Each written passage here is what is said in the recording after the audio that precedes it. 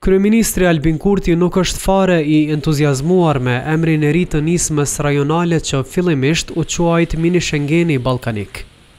Për më tepër, togfjalëshin Open Balkan e shfrytëzon për t'i dhënë cilësime.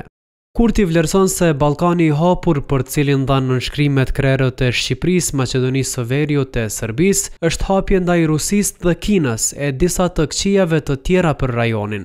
Ballkani i Hapur për autokracinë, Ballkani i Hapur për korrupsionin, Ballkani i Hapur për kriminelët e luftës, të cilët, siç e dimë të gjithë ne, vazhdojnë të jenë masivisht jo vetëm të lirë në Serbi, por jo pak prej tyre edhe në pushtet.